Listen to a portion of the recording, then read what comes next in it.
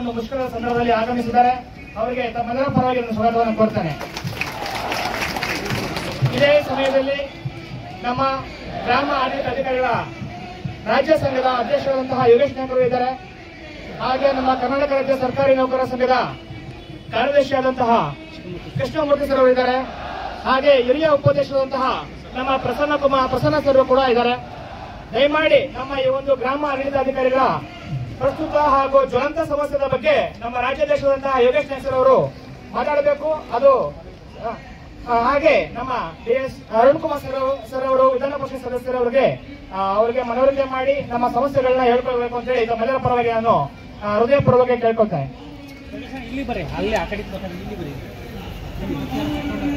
ರಾಜ್ಯ ಗ್ರಾಮ ಆಡಳಿತಾಧಿಕಾರಿಗಳ ಕೇಂದ್ರ ಸಂಘ ಏನು ರಾಜ್ಯ ಗ್ರಾಮ ಆಡಳಿತಾಧಿಕಾರಿಗಳ ಪ್ರಸ್ತುತ ಜ್ವಲಂತ ಸಮಸ್ಯೆಗಳ ಬಗ್ಗೆ ಹಾಗೂ ಮೂಲಭೂತ ಸೌಕರ್ಯಗಳನ್ನು ಕಲ್ಪಿಸುವ ಬಗ್ಗೆ ಏನು ಮುಷ್ಕರಕ್ಕೆ ನಿನ್ನೆ ದಿನದಿಂದ ಅನಿರ್ದಿಷ್ಟಾವಧಿ ಮುಷ್ಕರಕ್ಕೆ ಏನು ನಾವು ಕಾರ್ಯಕ್ರಮ ಹಮ್ಮಿಕೊಂಡಿದ್ದೀವಿ, ನಿನ್ನೆ ದಿನ ಯಶಸ್ವಿಗೊಳಿಸಿದ್ದೀವಿ. ಹಾಗೆ ಈ ದಿನನೂ ಕೂಡ ಜಿಲ್ಲಾಧಿಕಾರಿಗಳ ಕೇಂದ್ರ, ಜಿಲ್ಲಾಧಿಕಾರಿ ಕಚೇರಿ ಎದುರು ಕೂಡ ನಾವು ಮುಷ್ಕರಕ್ಕೆ ಕರೆ ಕೊಟ್ಟಿದ್ದೀವಿ. ನಮ್ಮ ಹಾಲಿ ಸಮಸ್ಯೆಗಳಲ್ಲಿ, ಜ್ವಲಂತ ಸಮಸ್ಯೆಗಳಾದ ಮೊಬೈಲ್ ಆ್ಯಪ್ಗಳಲ್ಲಿ ಯಾವುದೇ ರೀತಿಯ ಸೌಕರ್ಯ ಕಲ್ಪಿಸದಲೆ, ಸರ್ಕಾರದಿಂದ ಮೊಬೈಲ್ ಕೊಡದಲೆ, ಡಾಟಾ ಕೊಡದಲೆ ಸಿಮ್ ಕೊಡದಲೆ ಒಂದು ಆಫೀಸ್ ಇಲ್ದಂಗೆ ಲ್ಯಾಪ್ಟಾಪು ಮೊಬೈಲ್ ಲ್ಯಾಪ್ಟಾಪು ಪ್ರಿಂಟರು ಮತ್ತೊಂದು ಮಗದೊಂದು ಯಾವುದೇ ಸೌಕರ್ಯ ಇಲ್ದಂಗೆ ನಮಗೆ ಓನ್ಲಿ ನಮ್ಮ ವೇತನದ ಮೂಲಕ ನಮ್ಮ ವೇತನವನ್ನು ಉಪಯೋಗಿಸಿಕೊಂಡು ಸರ್ಕಾರಿ ಕೆಲಸ ಮಾಡುವ ಎಲ್ಲ ತಂತ್ರಾಂಶಗಳು, ತಂದ ಎಲ್ಲ ಯೋಜನೆಗಳನ್ನು ನಾವು ಖಂಡಿಸ್ತಾ ನಾವು ಈ ಮುಷ್ಕರನ ಪ್ರಾರಂಭ ಮಾಡಿದ್ವಿ. ನಮ್ಮ ಮೂಲ ಬೇಡಿಕೆಗಳಲ್ಲಿ ನಮ್ಮ ಹುದ್ದೆ ತಾಂತ್ರಿಕ ಹುದ್ದೆ ಅಲ್ಲ, ತಾಂತ್ರಿಕ ಹುದ್ದೆ ಅಲ್ಲದಿದ್ದರೂ ಕೂಡ, ತಾಂತ್ರಿಕ ಹುದ್ದೆ ಅಲ್ಲ ಎಂದು ಸರ್ಕಾರದಿಂದ ನಮಗೆ ಹಿಂಬರ ಕೊಟ್ಟಿದೆ ಹುದ್ದೆ ಮೇಲ್ದರ್ಜೆಗೆ ಅಂತ ಕೇಳಿದಾಗ. ಆದರೆ ಸರ್ಕಾರದ ವತಿಯಿಂದ ಹಿಂಬರ ಕೊಟ್ಟ ಕಾರಣ ನಾವು ತಾಂತ್ರಿಕ ಯಾವುದೂ ಕೆಲಸ ಮಾಡಬಾರ್ದು ಅಂತ ತೀರ್ಮಾನ ಮಾಡಿದ್ವಿ. ಒಂದಾನು ಆ ಕೆಲಸಗಳನ್ನ ನಾವು ಮಾಡಲೇಬೇಕು ಅಂದ್ರೆ B A plus R I ಮಧ್ಯೆ ಒಂದು ತಾಂತ್ರಿಕ ಹುದ್ದೆ ಸ್ಕೇಲ್ ಇದೆ. ಆ ಸ್ಕೇಲ್ಗೆ ನಮಗೆ ಅಪ್ಗ್ರೇಡ್ ಮಾಡಬೇಕು ಅನ್ನೋದು ಮೊದಲನೇ ಬೇಡಿಕೆ ಇದೆ. ಒಂದಾನು ಆ ಬೇಡಿಕೆ ಈಡೇರದಿದ್ದಲ್ಲಿ ಆ ತಾಂತ್ರಿಕ ಮೊಬೈಲ್ ಆ್ಯಪ್ಗಳನ್ನು ಈಗೇನು ಸೋಮವಾರ ಸಭೆ ಕರೆದಿದ್ದಾರೆ. ಆ ಮೊಬೈಲ್ ಆ್ಯಪ್ಗಳನ್ನು ಅಷ್ಟು ಅನ್ಇನ್ಸ್ಟಾಲ್ ಆ ದಿನನೇ ಮಾಡ್ತೀವಿ ನಾವು. ಒಂದಾನು ನಮ್ಮ ಬೇಡಿಕೆ, ಆ ಮೊದಲನೇ ಬೇಡಿಕೆ ಈಡೇರ್ತಿದ್ದಲ್ಲಿ ಹಾಗೆ ಮೂಲಭೂತ ಸೌಲಭ್ಯಗಳಲ್ಲಿ ನಮ್ಮ ಪ್ರತಿಯೊಬ್ಬ ಗ್ರಾಮ ಆಡಳಿತಾಧಿಕಾರಿಗಳ ಕೇಂದ್ರ ಸ್ಥಾನದಲ್ಲಿ ಕಚೇರಿ ಆಗಬೇಕು. ಯಾಕೆ ಅಂತ ಅಂದ್ರೆ ಮುಂದಿನ ದಿನಗಳಲ್ಲಿ ಎಲ್ಲ ಈ ಆಫೀಸು, ಇತರೆ ತಾಂತ್ರಿಕ ಕೆಲಸಗಳನ್ನು ನೀಡ್ತಾ ಇರೋದ್ರಿಂದ ನಮಗೆ ಒಳ್ಳೆ ಆಫೀಸ್ ಆಗಬೇಕು, ಒಳ್ಳೆ ಟೇಬಲ್, ಚೇರು, ಅಲ್ಮೇರಾಸ್ ಆಗಬೇಕು. ಹಾಗೆ ಮೊಬೈಲು ಸಿಮ್ಮು ಡಾಟಾ ಇದೆಲ್ಲ ಲ್ಯಾಪ್ಟಾಪು ಪ್ರಿಂಟರ್ ಸ್ಕ್ಯಾನರ್ ಈ ಥರ ನಮಗೆ ಏನು ನೀಡೆಡ್ ಇದೆ, ನಿರಂತರ ಕೆಲಸಕ್ಕೆ ಅದು ಅನಿವಾರ್ಯ ಬೇಕಾಗಿದೆ. ಹಾಗೆ, ಮೂಲವಾಗಿ ನಮಗೆ ಸೇವಾ ವಿಚಾರದಲ್ಲಿ ಇದುವರೆಗೂ ಯಾವುದೇ ರೀತಿ ಫೆಸಿಲಿಟೀಸ್ ಕೊಟ್ಟಿಲ್ಲ. ಸಾವಿರದ ಒಂಬೈನೂರ ಅರವತ್ತೊಂದರಲ್ಲಿ ಏನು ವಿಲಾ ವಿಲೇಜ್ ಅಬಾಲಿಷನ್ ಆ್ಯಕ್ಟ್ ಅಮೆಂಡ್ಮೆಂಟ್ ಆದ ನಂತರ ನಮ್ಮ ಹುದ್ದೆ ಹುಟ್ಕೊಂತು ಆ ದಿನದಿಂದ ಈ ದಿನದವರೆಗೂ ಅರವತ್ತೈದು ವರ್ಷಗಳ ಕಾಲ ಯಾವುದೇ ರೀತಿಯ ಸರ್ಕಾರದ ವತಿಯಿಂದ ನಮಗೆ ಫೆಸಿಲಿಟೀಸ್ನ ಕೊಟ್ಟಿಲ್ಲ. ದಿನದಿಂದ ದಿನಕ್ಕೆ ಒಂದಾನ ಒಂದು, ಒಂದಲ್ಲ ಒಂದು ಯೋಜನೆಗಳನ್ನು ಅನುಷ್ಠಾನಗೊಳಿಸ್ತಾ, ಒಂದಲ್ಲ ಒಂದು ಕೆಲಸಗಳನ್ನು ಹೊರೆಯನ್ನು ಹೊರಿಸ್ತಾ ಇದೊಂದು ಚಿತ್ರ ಹೇಳುತ್ತೆ. ನಮಗೆ ಇನ್ನೂರ ಐವತ್ತು ಕೆಲಸಗಳು ನಿಜ, ನಿಜವಾಗ್ಲೂ ನಮ್ಮ ಅಷ್ಟು ಕೆಲಸ ಇದೆ ಅಂತೇಳಿ ನಮಗೆ ಆಶ್ಚರ್ಯ ಆಗುತ್ತೆ. ಇತ್- ಇತ್ತೀಚಿನ ದಿನಗಳಲ್ಲಿ ಈ ಒಂದು ವಾರದಲ್ಲಿ ಇದು ಸಮಾಜಕ್ಕೆ, ಸರ್ಕಾರಕ್ಕೆ ಇಷ್ಟು ಕೆಲಸ ವಿಲೇಜ್ ಅಕೌಂಟೆಂಟ್ ಮಾಡ್ತಾ ಇದ್ದಾರಾ ಅಂತ ಹೇಳಿ ಆಶ್ಚರ್ಯ ಆಗ್ತಾ ಇದೆ. ಹಾಗಾಗಿ ನಮ್ಮ ಏನು ಸೇವಾ ವಿಚಾರದಲ್ಲಿ ಏನು ವೃಂದ ಸಂಘದ ಅಡಿಯಲ್ಲಿ ಬರ್ತಿದ್ದೀವಿ. ಅದರಲ್ಲಿ ಈಗ ಏಳು ಸಾವಿರದ ಒಂಬೈನೂರ ಐವತ್ತೆರಡು ಜನ ಕರ್ತವ್ಯ ನಿರ್ವಹಿಸ್ತಾ ಇದ್ದೀವಿ ಸರ್. ಈಗ ಮೊಬೈಲ್ ತಂತ್ರಾಂಶದ ವಿಚಾರಗಳಲ್ಲಿ ನಮಗೆ ಮೂಲ ಬೇಡಿಕೆಗಳಲ್ಲಿ ಮೊದಲನೇ ಎಷ್ಟೇ ಕೆಲಸ ಮಾಡಿದ್ರು ಕೂಡ ಕೆಲವು ಜಿಲ್ಲಾಧಿಕಾರಿಗಳು ಏನು ಘಟನೆ ಆಗಿಲ್ಲ ಸರ್. ನಮ್ಮ ಜಿಲ್ಲಾಧಿಕಾರಿಗಳು ಎಲ್ಲ ರೀತಿಯಲ್ಲಿ ನಮಗೆ ಬೆಂಬಲವಾಗಿದ್ದಾರೆ ಸಹಕಾರ ನೀಡಿದ್ದಾರೆ. ಆದರೆ ಕೆಲವು ಜಿಲ್ಲೆಗಳಲ್ಲಿ ಅಮಾನತು ಮಾಡಿದ್ದಾರೆ. ಯಾವುದೇ ರೀತಿಯ ಅವರಿಗೆ ಎಫೆಕ್ಟ್ ಇಲ್ಲದ ಕ್ಷಣವೇ ರದ್ದುಪಡಿಸಿ ಹಿಂಪಡಿಬೇಕಂತ ಮೊದಲನೇ ಬೇಡಿಕೆ ಇತ್ತು ಸರ್. ಹಾಗೆ ಹಗಲು ರಾತ್ರಿ ಎನ್ನದಲೆ ಆ, ಸ- ಒಂದು ನಿಗದಿತ ಸಮಯ ಇಲ್ಲದಲೆ ಹಬ್ಬ ಹರಿದಿನಗಳಲ್ಲಿ ರಜೆ ದಿನಗಳಲ್ಲಿ ನಿರಂತರವಾಗಿ ತಹಶೀಲ್ದಾರ್ಗಳು ಮೆಮೊ ಹಾಕ್ತಾ ಇದ್ದಾರೆ, ಕೆಲಸ ಮಾಡ್ರಿ ಅಂತ ಹೇಳಿ. ಈ- ಮುಷ್ಕರದ ದಿನದಿಂದ ಇದೇನು ನಮ್ಮ ಬೇಡಿಕೆಗಳ ಒಂದು, ಈ ಕಾರ್ಯ ಇದಕ್ಕೆ ಫುಲ್ ಸ್ಟಾಪ್ ಆಗಬೇಕು. ಇನ್ನು ಮುಂದಿನ ದಿನಗಳಲ್ಲಿ ನಿರಂತರವಾಗಿ ನಾವು ಸರ್ಕಾರಿ ಎಲ್ಲ ನೌಕರರು ಹೇಗೆ ಕೆಲಸ ಮಾಡ್ತಾ ಇದ್ದಾರೆ, ಸರ್ಕಾರಿ ಸಮಯದ ಅವಧಿಯಲ್ಲಿ ಆ ಕೆಲಸನ ನಾವು ಮಾಡಬೇಕು ಅಂತ ಹೇಳಿ ಒಂದು ದಿಟ್ಟ ನಿರ್ಧಾರ ಇದೆ. ಸರ್ ಹಾಗೆ ಹೈಕೋರ್ಟ್ನ ರಿಟ್ ಪಿಟಿಷನ್ ಸಂಖ್ಯೆ ಮುನ್ನೂರ ಇಪ್ಪತ್ತೊಂಬತ್ತರಲ್ಲಿ ನಮ್ದು ಏನು ಪದೋನ್ನತಿ ವಿಚಾರವಾಗಿ ನಾಲ್ಕು ವರ್ಷದಿಂದ ಯಾರಿಗೂ ಪದೋನ್ನತಿ ಇಲ್ಲ ಸರ್. ಅದನ್ನ ನ್ಯಾಯಾಲಯದ ಅಂತಿಮ ಆದೇಶಕ್ಕೆ ಒಳಪಟ್ಟು ಪದೋನ್ನತಿ ನೀಡಬೇಕು ಅಂತ ನಮ್ಮ ಬೇಡಿಕೆ ಇದೆ. ಯಾಕಂದ್ರೆ ಈ ಹಿಂದೆ ಪವಿತ್ರ ಪ್ರಕರಣದಲ್ಲಿ ಪರಿಶಿಷ್ಟ ಜಾತಿ ಪರಿಶಿಷ್ಟ ಪಂಗಡದ ಒಂದು ವಿಚಾರವಾಗಿ ಪದೋನ್ನತಿಯನ್ನ ಕೂಡ ನ್ಯಾಯಾಲಯದ ಅಂತಿಮ ಆದೇಶಕ್ಕೆ ಒಳಪಟ್ಟು ಕೊಟ್ಟಿದ್ರು. ಹಾಗೆ ಇದನ್ನು ಕೊಡೋದ್ರಿಂದ ಯಾವುದೇ ಸಮಸ್ಯೆ ಆಗೋದಿಲ್ಲ ಅಂತ ಬೇಡಿಕೆ ಇದೆ ಸರ್. ಪತಿ ಪತ್ನಿ ಪ್ರಕರಣದ ವರ್ಗಾವಣೆ ಆಲ್ರೆಡಿ ಸರ್ಕಾರದ ಹಂತದಲ್ಲಿ ಬಾಕಿ ಇದೆ. ಅದು ಕೂಡ ಆಗಿಲ್ಲ ನಮಗೆ. ಅದು ಕೂಡ ಬೇಡಿಕೆ ಇದೆ. ರಾಜ್ಯ ಸರ್ಕಾರಿ ನೌಕರರ ಪ್ರ- ಪ್ರಬಲವಾದ ಬೇಡಿಕೆ ಅಂತ ಅಂದ್ರೆ ಸರ್, ಅಂತರ್ ಜಿಲ್ಲಾ ವರ್ಗಾವಣೆ. ಅಂತರ್ ಕೆ ಸಿ ಎಸ್ ಆರ್ನಲ್ಲಿ ಅಂತರ್ ಜಿಲ್ಲಾ ವರ್ಗಾವಣೆ ಸಿಸ್ಟೀಮಿಯನ್ನ ಉಪಖಂಡ ಎರಡನ್ನ ತೆಗೆದಿದೆ.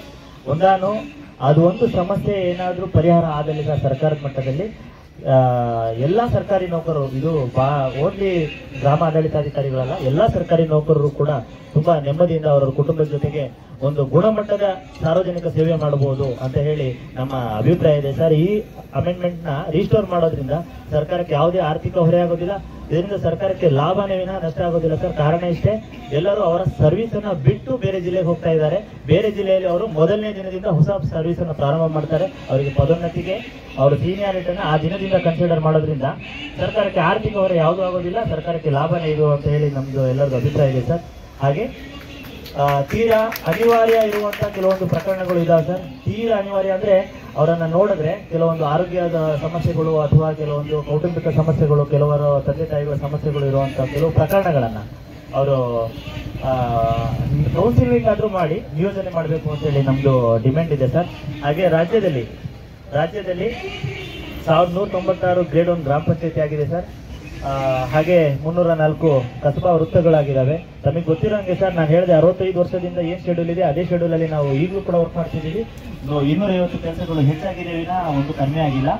ಹಾಗಾಗಿ ಆ ಗ್ರೇಡ್ ಒನ್ ಗ್ರಾಮ ಪಂಚಾಯಿತಿ ಮತ್ತೆ ಕಸಬಾ ಹೋಬಳಿಗಳನ್ನ ಇರಿಸಿ ನಮಗೆ ಪದೋನ್ನತಿ ನೀಡುವಾಗ ಆ ಒಂದೂವರೆ ಸಾವಿರ ಪೋಸ್ಟ್ಗಳನ್ನ F D A bar R I bar grade one B A ಅಂತೇಳಿ ಕನ್ಸಿಡರ್ ಮಾಡಿ ಪದೋನ್ನತಿ ನೀಡಬೇಕಂತ ಕೇಳ್ಕೊಂತ ಇದ್ದೀವಿ ಸರ್.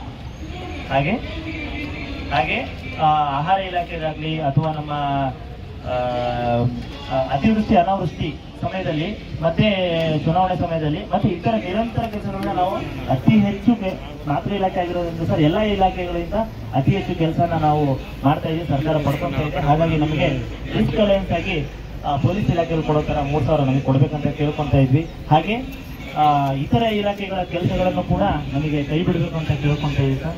ಮತ್ತೆ ಮೇಲಾಗಿ ನಮ್ಮ ಜೊತೆಗೆ ನಮ್ಮ ಅಣ್ಣ ತಮ್ಮಂದಿರ ತರ ನಮ್ಮ ಗ್ರಾಮ ಸೇವಕರು ಇದ್ದಾರೆ ಸರ್. ನಿರಂತರವಾಗಿ ನಮ್ಮ ಎಲ್ಲಾ ಕೆಲಸಗಳಿಗೆ ಬೆನ್ನೆಲುಬಾಗಿ ಅವರು ಕೂಡ ಬರ್ತಾ ಸರ್.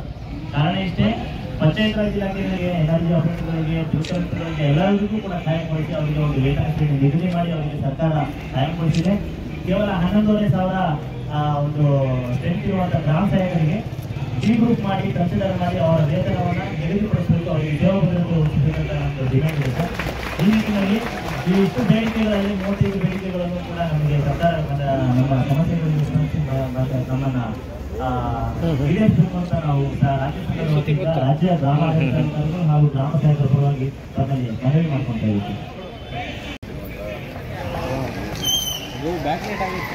ಹಲವು ಬೇಡಿಕೆಗಳ ಈ ಒಂದು ನೇತೃತ್ವ ವಹಿಸಿರುವಂತಹ ಅಧ್ಯಕ್ಷರು ಹಾಗೂ ಎಲ್ಲ ಪದಾಧಿಕಾರಿಗಳೇ ನಡೆದಿರುವಂತಹ ಎಲ್ಲ ನಮ್ಮ ರಾಜ್ಯದ ಗ್ರಾಮಾಡಳಿತ ಅಧಿಕಾರಿಗಳು.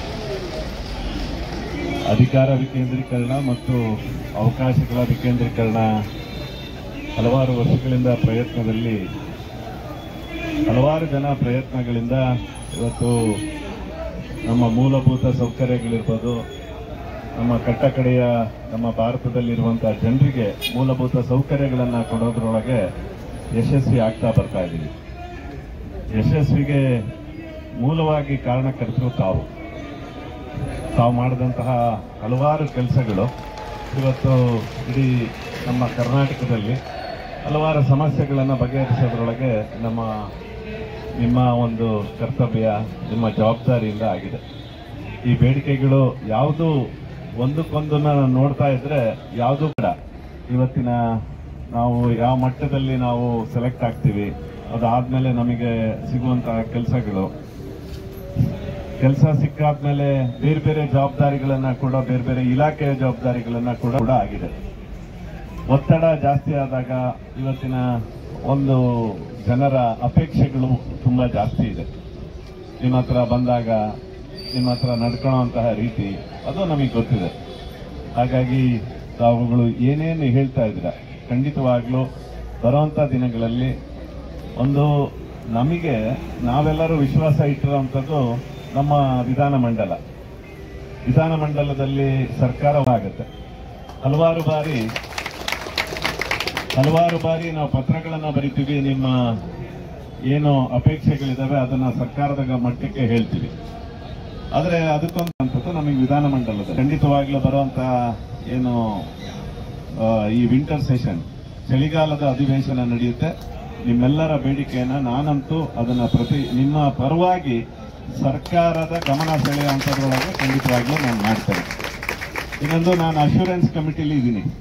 ಪ್ರತಿ ವಾರ ಹಲವಾರು ಇಲಾಖೆಗಳ ಅಶ್ಯೂರೆನ್ಸ್ಗಳನ್ನು ಅಲ್ಲಿ ನಾವು ಚರ್ಚೆಗಳನ್ನ ಮಾಡ್ತೇವೆ. ನನಗೆ ಬಹಳ ಆಶ್ಚರ್ಯ ಆಗುತ್ತೆ ಒಂದು ಸರ್ಕಾರದ ಒಟ್ಟು ವಾಸ್ತವತೆ ಏನು ಅಂದ್ರೆ ಎರಡ್ ಸಾವಿರದ ಹದಿನಾರು, ಹದಿನೇಳರದ್ದು ಈಗ ಚರ್ಚೆ ಮಾಡ್ತಾ ಇದೀವಿ ನಾವು. ಏನೇನು ಭರವಸೆ ಕೊಟ್ಟಿದ್ರು ಎರಡ್ ಸಾವಿರದ ಹದಿನಾರನೇ ಇಸ್ವಿಲಿ, ಹದಿನೇಳನೇ ಇಸ್ವಿಲಿ, ಅದನ್ನ ಇನ್ನೂ ಆಗಿಲ್ಲ ಅನ್ನೋವಂಥದ್ದು ನಮ್ದೆಲ್ಲರದು ಇರುತ್ತೆ. ಆದರೆ ದೇಶ ದೊಡ್ಡದು ನಮ್ಮ ಜನಸಂಖ್ಯೆ ದೊಡ್ಡದು, ನಾ ಹೇಳಿದ್ನಲ್ಲ, ಅಪೇಕ್ಷೆಗಳು ಜಾಸ್ತಿ ಇದೆ. ಜೊತೆಗೆ ಸರ್ಕಾರದ ನೀತಿ ನಿಯಮಗಳನ್ನು ಕೂಡ ಹಲವಾರು ಬಾರಿಗಳು ಐದು ವರ್ಷಕ್ಕೊಮ್ಮೆ ಬದಲಾವಣೆಗಳು ಕೂಡ ಆಗುತ್ತೆ. ಹಾಗಾಗಿ ಅವರವರ ಸರ್ಕಾರದ ಸೀಮಿತವಾಗಿ, ಯಾವುದೇ ಹೊಸ ಸರ್ಕಾರ ಬಂದಾಗ ಮಾಡುವಂತಹ ಹಲವಾರು ಯೋಜನೆಗಳು, ಎಲ್ಲ ಒಂದ್ ಕಡೆ ಒಂದಷ್ಟು ಬೇರೆ ಬೇರೆ ಅಭಿವೃದ್ಧಿ ಕಾರ್ಯಗಳಲ್ಲೂ ನಮಗೆ ಕುಂಠಿತವಾಗಿ ಕಾಣ್ತಾ ಹೋಗುತ್ತೆ. ಇಡೀ ದೇಶ ಡಿಜಿಟಲೈಸೇಷನ್ ಆಗಬೇಕು, ಒಂದು ಪ್ರಾಮಾಣಿಕತೆ ಬೇಕು, ಇನ್ನೊಂದು ಪಾರದರ್ಶಕತೆ ಬೇಕು